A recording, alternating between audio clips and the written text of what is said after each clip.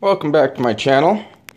Uh, today's repairs, or what I'm doing today, is a 47 inch Vizio TV. Don't believe the sticker LG display, but it is a Vizio. It is a 47 inch. Come on. There you go. There's the sticker. Alright. Alright. Get a backlight out on this. Uh, person who dropped it off for me to have says uh, you can hear the audio. Everything seems to work other than just no picture. So I figured a bad power board and or backlights. But zooming in closer here, I got these little capacitors here. Well, that, that one's cracked. Totally discolored.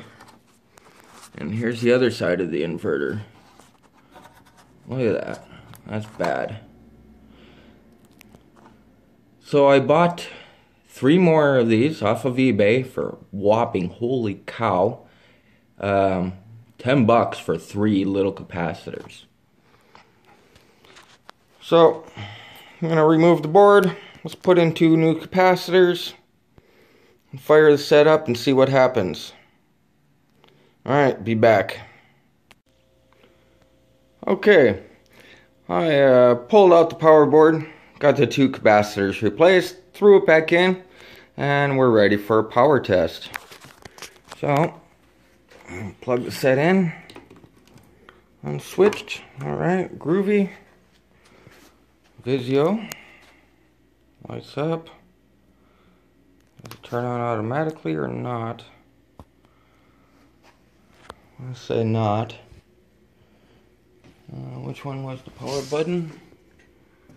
Top one. Okay. Top one. Ooh, Vizio went white. Whoo! Alright.